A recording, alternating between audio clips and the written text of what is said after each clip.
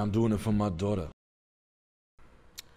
We got Ah Yep with 40 Australian dollars. Hi Sam, I have a good job that I enjoy with a decent salary of 100k. Good for you!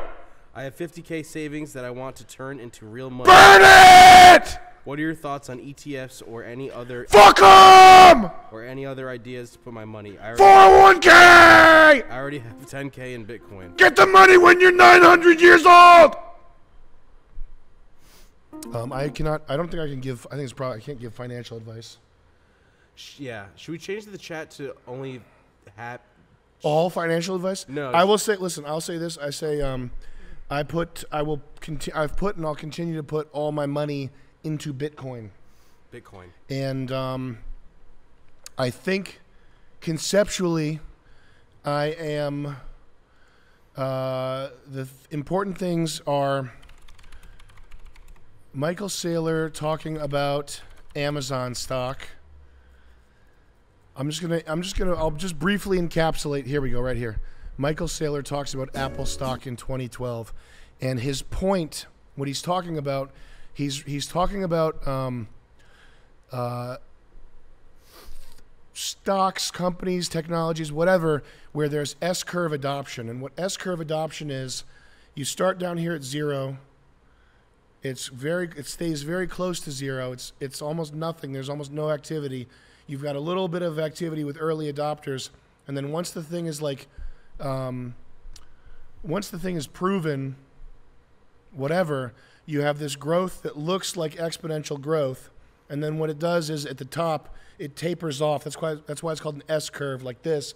It tapers off once the niche has been filled. Like once everybody who could possibly ever own an iPhone has an iPhone, your niche has been filled. And yes, there's like a billion people in Africa who don't have iPhones, but it's like if we were to um, like the the distance between right now and everybody in Africa having an iPhone, that distance time wise and also the amount of like income that that would create is not really it's it's not the same as Apple's run up from from um, the beginning to now, which uh, and what Michael Saylor talks about a lot is in those early phases. Um, I mean, right. So right now, Michael Saylor, he's like a he's like a Bitcoin evangelist, which I don't. I'm not saying to go watch his Bitcoin videos. His videos of him prior to Bitcoin, talking about Apple, Amazon, tech investing, etc., are really worth looking into if you want to know about where you might want to put your money. Okay, his non-Bitcoin videos are very illuminating as well. Okay, I'll say that. Uh, and um, what people, when people uh, look at, when people were looking at Amazon stock in 2009 or whatever, they were looking at Apple stock in 2012. They were looking at Bitcoin now and a few years ago. They were looking to, they were looking at this volatility, and um, volatility like if the if the product is a is an obvious what Peter Thiel calls a zero to one product, like it's a zero to one means zero, there's none of it in the world. One is the invention of the first iteration of it in the world. And like globalism is focused on going from one to a hundred, taking taking the iPhone that already exists and duplicating duplicating it a hundred times so that everybody in China can have one. That's one to that's one to a hundred. That's globalism.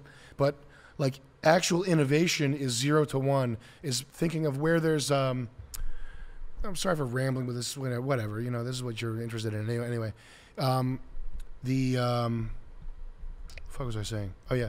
So going from when there's where there's nothing to where there's something, that's that's where the actual innovation takes place. And when that innovation happens, when you go from zero to one, there's always volatility because the market is trying to figure out like how legit the thing is, what it's worth, etc. But there's a time, there's a there's a period where the th- to to insiders and even to laymen, even even to laymen with um, enough kind of like layman knowledge in various fields to, to piece together the truth. There's a period where it's obvious there is a clear category winner, but the market is still fucking around trying to figure out who the clear category winner is. But to anybody who knows how a fucking computer works, it's obvious that the iPod beats the Zune, and you'd have to be, you'd have to have a bit an MBA and be a professional investor to be retarded enough to think that the Zune beats the iPod, um, and that's where there's that's where there's volatility. And what the problem with volatility is people try to people try to time the volatility and they think they're geniuses.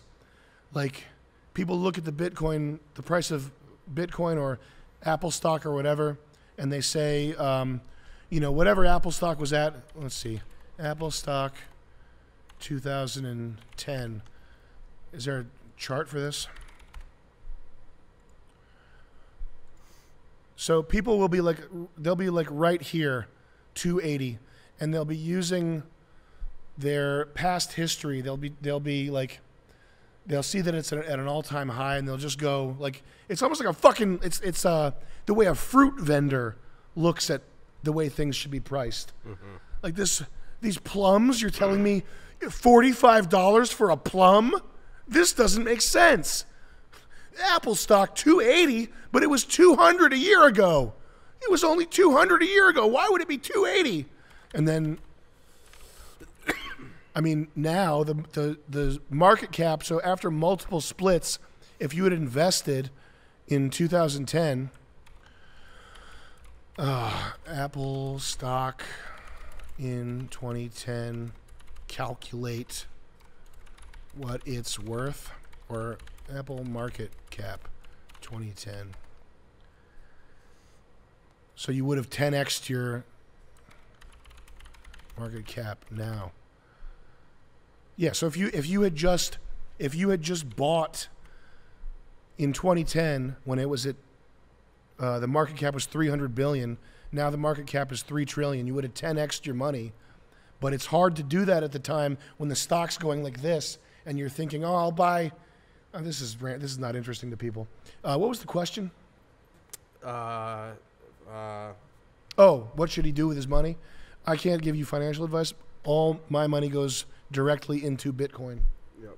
Um, and the other person that I think is conceptually correct a lot of the time is um, the sort of the meme, the meme lady, Cathie Wood, um, and her her notion, which I don't think has has yet to to play uh, play out yet. I don't know how people who've bought Ark Invest have done, but her idea is that the there are five um, revolutionary technologies, and that the synergy between these five revolutionary technologies will be will have a sort of magnitude of it as the, this, uh, along the same lines as this, the previous the last time there was a synergy of revolutionary technologies which would have been like steam engine rail rail transport and whatever. Um, if you watch her videos about uh, cathie woods technologies but um, yeah, you're gonna have to search for it. But that's that's her idea is that um, AI, gene gene editing, blockchain, and uh, there's there's two other things that um, she talks about that are that this the synergy between these things is going to absorb a lot of money, uh, which I think is conceptually makes sense to me. Although her, I don't think her ARK Invest ETF is doing well, but I haven't checked in a year, so I don't know.